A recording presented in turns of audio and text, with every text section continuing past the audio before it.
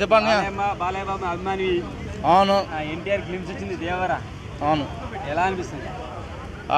Temper ఒక torch light movie అయితే కనుక ఇది ఒక ఎల్ఈడి లైట్ మూవీ అన్న. సో సినిమా అయిపోయాక కూడా దేవరా సినిమా కదా.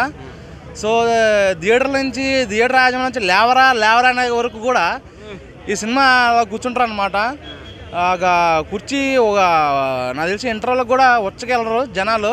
అంత స్పెసిఫిక్గా ఉందన్నమాట. సో నరుకుతుంటే కనుక ఫుల్ హాఫ్ మూన్ కూడా ఫుల్ మూన్ అయిపోద్ది. గ్లిమ్స్ మొత్తం గమనిస్తే మాత్రం ఆ సీన్ మాత్రం చాలా హైలైట్. ఎర్ర సముద్రం ఎర్ర సముద్రం అంటే రంగులే కాదు. రక్తంతో త- తడిచిన సముద్రం కూడా ఎర్ర సముద్రం అని అంటారు. సో సముద్రం ఎక్కువ కత్తులు నెత్తులు ఎక్కువ చూసిందని చెప్పి ఎన్టీఆర్ చెప్పడం డైలాగ్ చాలా బాగుందన్నమాట. ఎందుకు అట్లా అన్నాడంటే కనుక చేపలు చచ్చిపోతుంటాయి అప్పుడు ఎర్రగా అయితే ఉంటాయి. సో ఎర్ర సముద్రం అని చెప్పడం బాగుంది. అలాగే ఎన్టీఆర్ కాళ్ళు సముద్రం కడగడం అనేది అసలు సీన్ మామూలు సీన్ కాదు.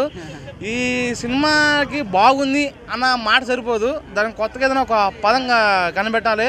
అలాగే టైటిల్ చూసుకుంటే ప్రతి ఒక్క టైటిల్ కూడా కత్తిలు కత్తులు ఉంటాయన్నమాట ఆ కత్తులతో రాయడం అనేది కూడా చాలా బాగా అనిపించింది.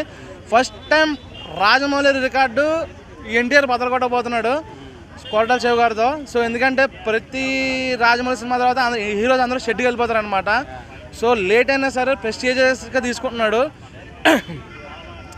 మెయిన్ ఎన్టీఆర్ అన్న హైలైట్. ఎందుకంటే హీరోయిన్ ఫ్లాప్లో ఉంది. మ్యూజిక్ డైరెక్టర్ టాలీవుడ్లో ఒక హిట్ లేదు.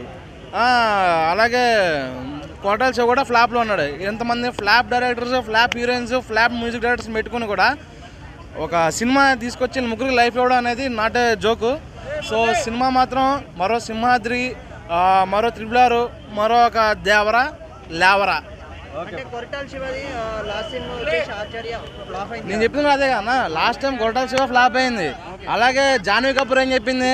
ఈ దేవరా సినిమాతో నా కెరీర్ స్టార్ట్ అవుతుంది. ఇప్పుడు దాకా నేను చేసిన అన్ని పిచ్చి పిచ్చిగా ఉన్నాయి తప్ప నాకు నాకు మనస్ఫూర్తిగా నేనేం చేయలేదు. బట్ ఈ సినిమాతో నా యాక్టింగ్ ఏంటి శ్రీదేవి కూతురుగా నేనేంటని ఈ సినిమాతో చూపించబోతున్నా అని చెప్పి కూడా ట్వీట్ చేసింది. మీరు చూసారో లేదో.